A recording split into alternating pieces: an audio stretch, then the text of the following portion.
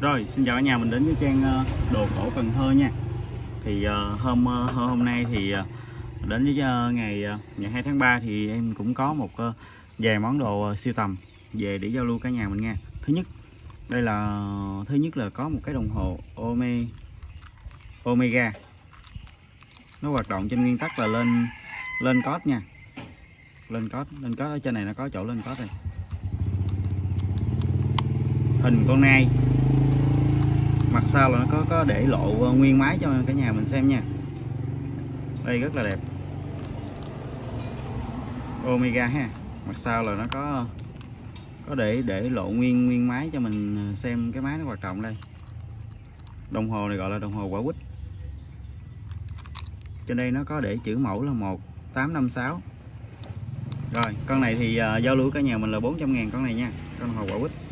Đây là mã số 1 nha rồi, tiếp theo mã số 2 có một cái cây cối, cây bật lửa cối của Mỹ, được sản ờ, xuất từ những thập niên 1950 nha. Đây nó nó nhìn, nó giống như trái bulin vậy đây. Mình mở ra trong này nó có cái cối để bật lửa đây. Đây. Mình bỏ xăng vô đây thì mình quẹt cháy nha. Cái này thì em chưa có bỏ bỏ xăng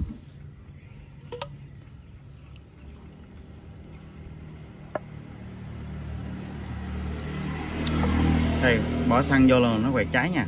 Rồi sau đó mình đóng nắp lại. Ở trên nắp này nó cũng có một cái lần lằn nước nhỏ nghe nhưng mà không ảnh hưởng nha. Con này của Mỹ được sản xuất năm 1950 ờ, ờ, giao lưu cả nhà mình 300 ngàn. Con bật lửa cối xưa nha. Mã số 2 nha. Tiếp theo là mã số 3 là có một cái một cái bật lửa kim hợp thuốc của Mỹ được sản xuất từ những năm 1940 con này rất là độc nha. Con này ờ, nó có hai tác dụng. Một là là mình để để thuốc. Hai là nó là một cái bật lửa để mồi thuốc luôn. Đây, ở đây là khi mình nhấn nút này nè.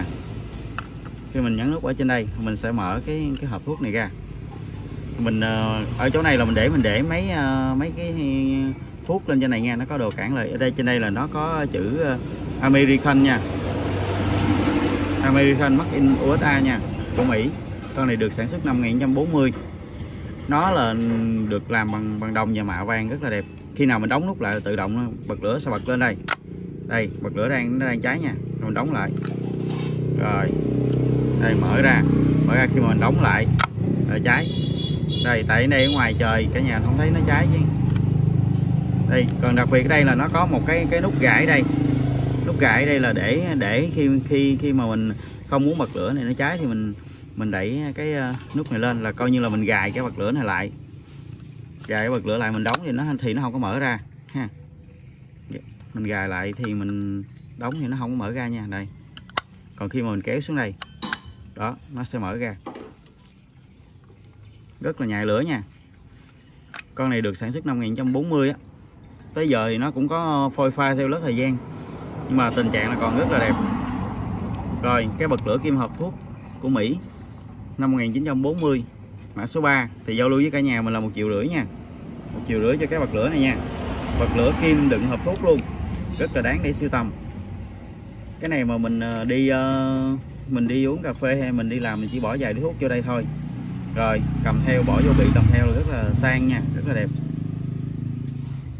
Rồi, con này thì giao lưu cả nhà một triệu rưỡi nha.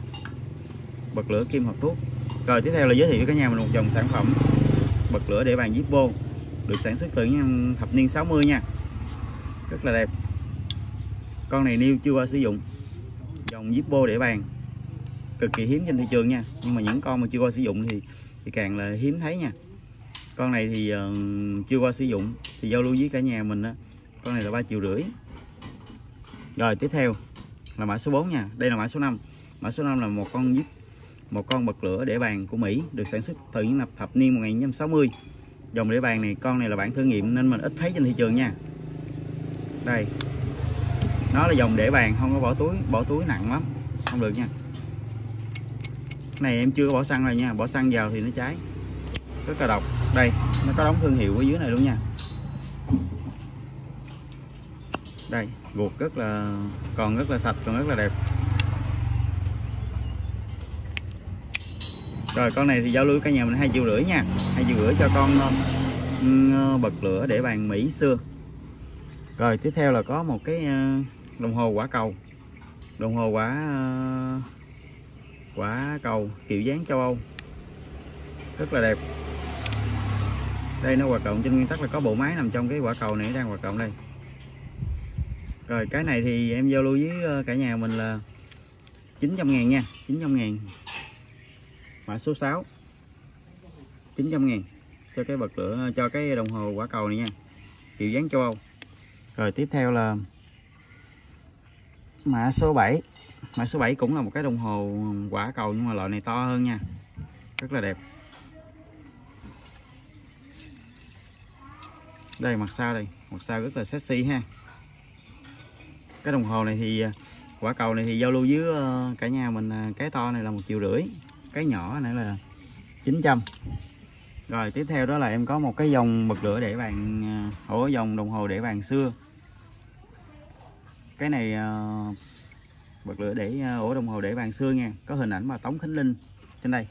Hình ảnh bà Tống Khánh Linh được mạ vàng rất là đẹp.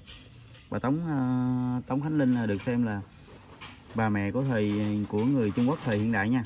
Rất là đẹp. Tình trạng là còn hoạt động rất là tốt.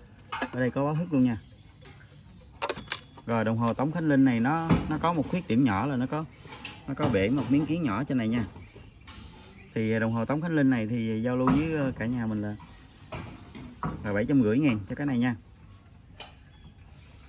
Rồi, tiếp theo là em có một cái đồng hồ con gà rất gần gũi với ờ, hình ảnh ờ, Việt Nam xưa của mình nha. Đây, rất là đẹp. Gia đình gà, con gà trống đang mổ đây. Đồng hồ báo thức mặt sau là còn hoạt động rất là tốt nha. Tất cả đều chuông đều reo ờ, tốt.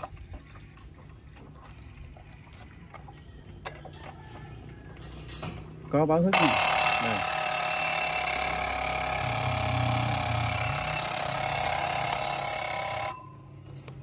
rồi, đồng hồ con gà này đồng hồ con gà xưa này á, thì giao lưu cả nhà mình là 900 ngàn nha rồi hôm nay thì em cũng có một số món sưu tầm gì để, để, để giới thiệu tới cả nhà mình.